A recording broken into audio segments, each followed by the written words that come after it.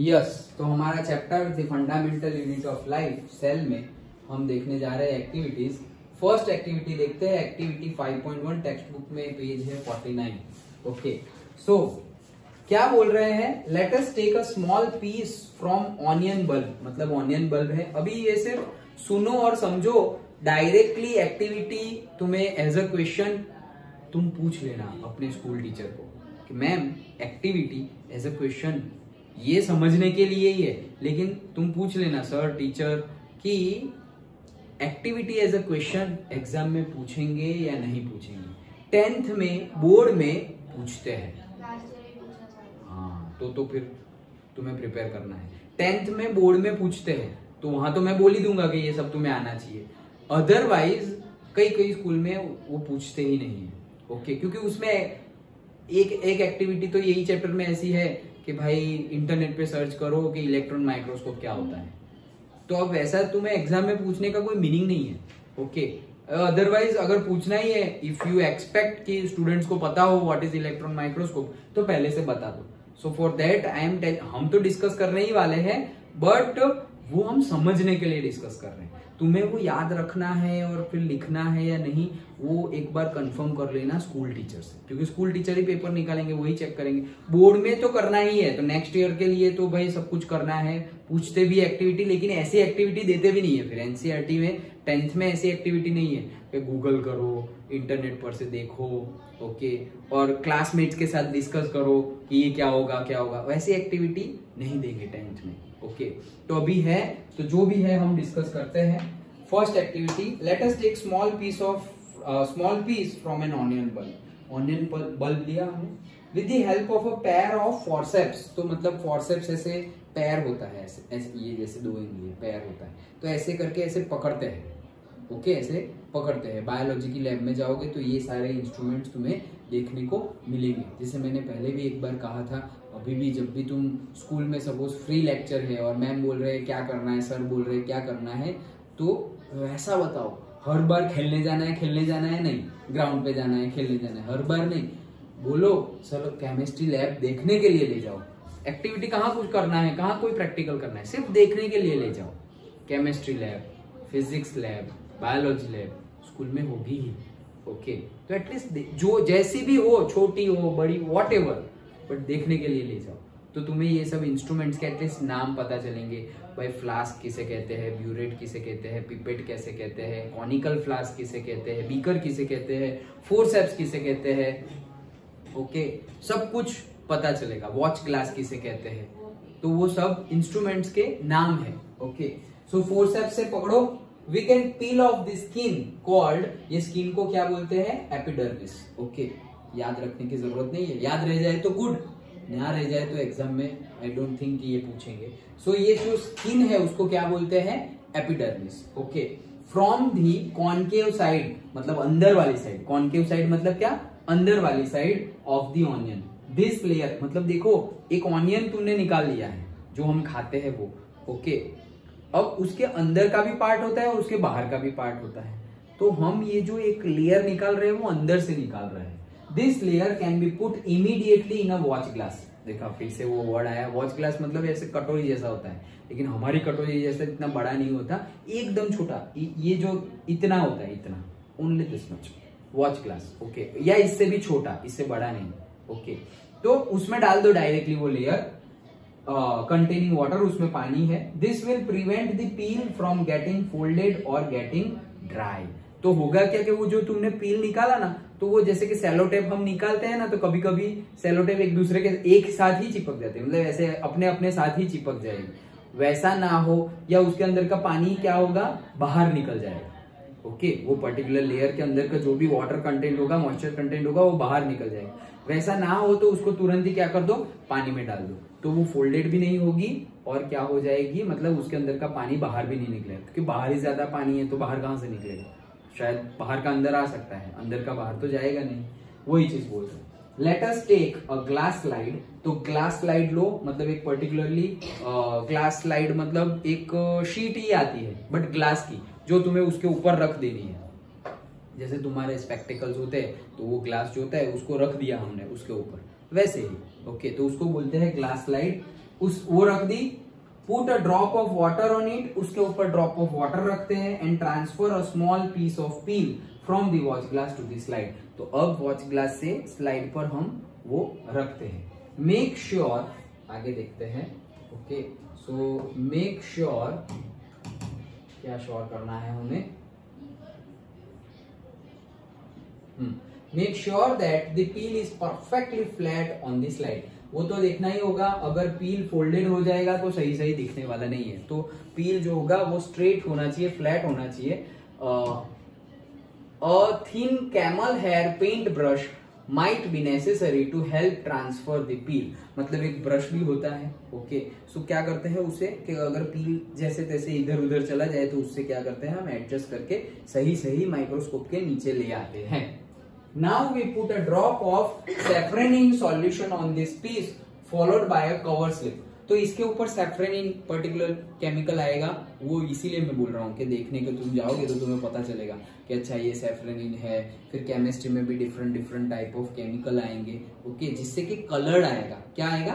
Colour ये safranin है, उससे भी क्या होगा कि अगर डायरेक्टली जो है वैसा ही तुम देखोगे ना तो शायद तुम्हें सही सही वो जो सेल हमें देखने हैं, वो दिखाई देंगे नहीं ओके तो उसको कलर्ड कर देंगे हम। कई होता है ना कि कई चीज़ें हमें, जैसे कि ब्लैक और व्हाइट देख रहे हैं हम तो ब्लैक और व्हाइट में सही सही दिखाई देगा नहीं तो इसलिए हम उसको कलर दे देते हैं। क्या करते हैं? कलर कर देते हैं। तो कलर दिखाई देंगे, लेकिन ब्लैक एंड व्हाइट में नहीं दिखाई देगा। ऐसा समझो कोई चीज़ ब्लैक है, ये ये मार्कर ये पेन ब्लैक है। उसको मैं अभी यहाँ पर यहाँ पर तुम इजीली देख सकते हो। क्यों? क्योंकि पीछे व्हाइट है और उसके आगे ब्लैक है। ओके समझो ब्लैक बॉडी है और यहाँ पर ऐसे लटकी हुई होगी ना मार्कर तो भी तुम्हारा ध्यान डायरेक्टली उस पर नहीं जाएगा। जैसे कि यहाँ पे पड़ी हुई हो ऐसे मार्कर ऐसे है। ओके तो हम, तुम बोर्ड को देख रहे हो, लेकिन तुम्हारा ध्यान जल्दी नहीं जाएगा मार्कर के ऊपर। क्यों? क्योंकि ये ब्लैक और ब्लैक क्या हो गया? मैच हो गया। अंडरस्टूड तो पर्टिकुलरली हमें तो देखना है, अच्छे से हम डिस्टिंग कर पाए कि अच्छा ये हमारा सेल है उसके लिए उसको कलर करना पड़ता है। तो इन शॉर्ट सेफ्रेनिन से कलर आएगा okay now take care to avoid air bubbles while putting the cover slip with the help of a mounting needle तो माउंटिंग नीडल भी होगी उससे ये सब प्रोसीजर है ये सब याद नहीं रखना है समझने के लिए है ओके okay, तो ये सब जब करेंगे जब तुम शायद इलेवन ट्वेल्थ में बायोलॉजी लो तो ऐसे एक्सपेरिमेंट करने पड़ेंगे। तो क्या है कि बबल नहीं रह जाने चाहिए। तुमने ये कवर रखा ना, जैसे कि हम मोबाइल में स्क्रीन गार्ड लगाते हैं तो थोड़ा भी बबल ना रह जाए, इसलिए वो ऐसे ऐसे करके सारे बबल निकाल देता है साइड में से। ओके दुकान वाला, जहाँ हम लगा रहे हैं। तो वैसे ही बबल नहीं रहना चाहिए, उसके अकॉर्डिंगली हमें कवर सिर्फ़ रखनी है। We have prepared a temporary mount of onion तो हमने बना दिया। अब तुम देख सकते हो। तो देखो we can observe this slide under a low power followed by a powers of a compound microscope high power low power क्या है? मतलब हाई जूम और लो जूम ऐसा. हाई पावर मतलब तुम बहुत डिटेल्ड अंदर तक का देख रहे हो. लो मतलब थोड़ा ऊपर ऊपर से दिख रहा है लाइक like दैट तो वैसे हाई पावर मतलब वो कोई इलेक्ट्रिसिटी ज़्यादा दे दोगे वैसा नहीं है. ओके जूमिंग इफ़ेक्ट है. हाई पावर लो पावर जैसे हम कोई मूवी देखते तो नहीं बोलते कि भाई रिजोल्यूशन क्या है? तो बोलेंगे कि 720 पिक्सल 1080 अब तो 4K आ गया है. तो और ज़्यादा, सबसे ज़्यादा क्लियर है ऐसे। अभी उससे आगे भी कुछ आएगा। Like that okay now what do we observe as we look through the lens तो अगर अब हम लेंस से देखें तो हमें क्या देखने को मिलेगा? भाई सेल देखने को मिलेगा यार ओके चलो if the epidermal fold of the onion bulb is mounted on the slide and observe we can observe the following structures in the temporary mounting तो ये सब हमें देखने को मिलेगा ओके तो क्या क्या देखने को मिलेगा? Epidermal cells which are slightly rectangular in cells तो हमें सेल्स देखने को मिलेंगे और स्लाइटली क्या होंगे वो? रेक्टेंगल हमारी एनसीआरटी e की बुक में गिवन है। वैसे ही। ओके okay, हाँ वो वाले लास्ट वाले वही वही वही वही लास्ट वाले हाँ उसके जैसे ही सेल देखने को मिलेंगे। Okay okay? समझ में आया? First first page first page chapter का। हाँ वो वो नीचे सेल है ना वैसे ही सेल देखने को मिलेंगे। All the cells are similar in shape and size तो सबका शेप क्या है? सिमिलर जैसा ही है और सबका साइज़ भी सिमिलर जैसा है हाँ? सेम नहीं। दोनों अलग अलग बातें हैं। ओके तो all the cells are similar in shape and size मतलब एक जैसे। एग्जैक्ट नहीं है। ओके एक जैसे। There is a nucleus which takes up the stain मतलब जो हमने सेफ्रेनिन का कलर किया ना तो वो कलर कहाँ पे दिख रहा है हमें? न्यूक्लियस के आसपास मतलब सेंटर्ड पर दिख रहा है। साइटोप्लाज्म सराउंड द न्यूक्लियस ये सब हमें देखेंगे तो पता चलेगा ना। तो साइटोप्लाज्म अब देखो, हमें स्टार्टिंग में ही एक्टिविटी पढ़ते, हमें पता ही नहीं है क्या है साइटोप्लाज्म क्या है न्यूक्लियस ये वो।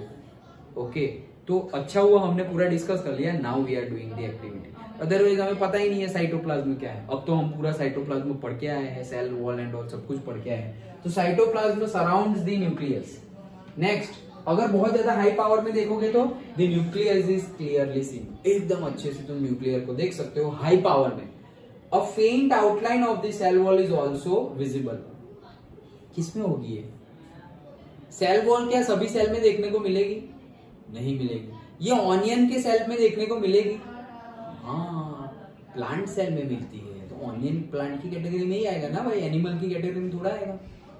डन तो प्लांट सेल में सेल वॉल होती है। इसलिए बोल रहे हैं कि प्लांट सेल भी फेंट आउटलाइन मतलब एकदम ब्लरी एकदम एग्जैक्ट नहीं, लेकिन फेंट आउटलाइन भी दिखेगी। वो जो फेंट मतलब थोड़ी ब्लरी वाली जो आउटलाइन है ब्लर ओके एकदम एग्जैक्ट लाइन नहीं, थोड़ा बहुत नहीं होता ब्लर पिक्चर यार एकदम क्लियर नहीं आया है, ऐसा बोलते हैं तो वो क्लियर नहीं दिखेगा तो that is what cell wall होगी। ओके तो ये सारी चीज़ें हमें दिखने को मिलती है। न्यूक्लियस साइटोप्लाज्म और से सेल वॉल भी देखने को मिलती है। स्टेन कहाँ हुआ न्यूक्लियस में, और सेल जो है उसका शेप एंड साइज़ सब कुछ यही लिखना है। ओके अगर ऐसा क्वेश्चन पूछे तो इतना सब कुछ तो नहीं पूछेंगे, लेकिन अगर तुम ऐसा सेल देखोगे तो तुम्हें क्या क्या देखने को मिलेगा तो यही आंसर है हमारा।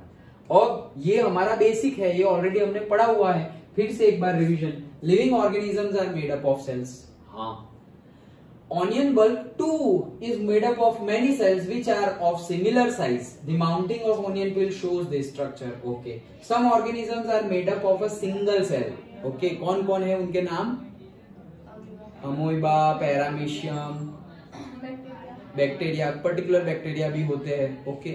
चलो। They called unicellular organism amoeba chlamydomonas okay ये नाम याद रखना। कैलिमोडोमोनोस ओके तो वो तुम्हें नाम भले ही प्रोनाउंस करो ना करो स्पेलिंग याद रख लेना okay so chlamydomonas and paramecium and bacteria etcetera okay तो चारों चार नाम याद रख लेना। Majority of the living organisms are made up of many cells बहुत सारे ऑर्गेनिज्म मेजोरिटीली ऑर्गेनिजम्स तो कैसे होते हैं? बहुत सारे सेल से बने हुए मतलब ये लोग तो बहुत कम है। यूनिसेल्युलर ऑर्गेनिजम्स अर्थ में क्या है? बहुत कम है। अभी। ओके और मेजोरिटीली जो है वो कौन से है? मल्टी सेल्युलर ऑर्गेनिजम्स है। सो so, उनको मल्टी सेल्युलर बोलते हैं जैसे फंगाई प्लांट्स एनिमल्स मतलब ह्यूमन भी अंदर ही आ गए। तो फंगाई प्लांट एनिमल तो मल्टी सेल्युलर ज़्यादा है। मतलब अभी मैंने बोला मेजोरिटी यार मल्टी सेल्युलर तो तुम ह्यूमन को कंसिडर मत करना। ह्यूमन तो माइक्रो ऑर्गेनिजम्स के नंबर्स की काउंटिंग करें हम तो ह्यूमन तो हम तो कितना बोलेंगे? सर, हम तो बहुत ज़्यादा है। हम तो बहुत ज़्यादा है। अरे, बहुत ज़्यादा भी कुछ नहीं है। मतलब हम कितने हैं? अराउंड सेवन फिफ्टी करोड़ है। कितने हैं अर्थ पर? सेवन फिफ्टी करोड़ कौन? ह्यूमन सेवन फिफ्टी करोड़ में से वन फिफ्टी करोड़ तो इंडिया में ही है।